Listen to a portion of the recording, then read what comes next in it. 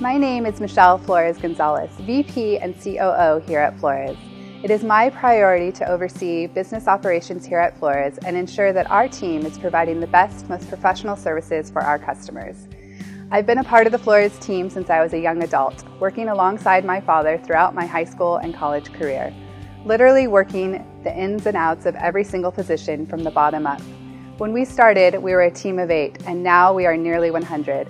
It has been an amazing journey. It has been an honor to be a part of this growing team and see the impact that we have had on our customers and their business success. It is Flores' mission to be the best service provider and have a commitment to customer service so that when our customers say they choose Flores for HR and accounting services, they say it with a sense of pride, knowing that the Flores team treats them like family with pride, loyalty, respect, and a commitment to service that goes above and beyond.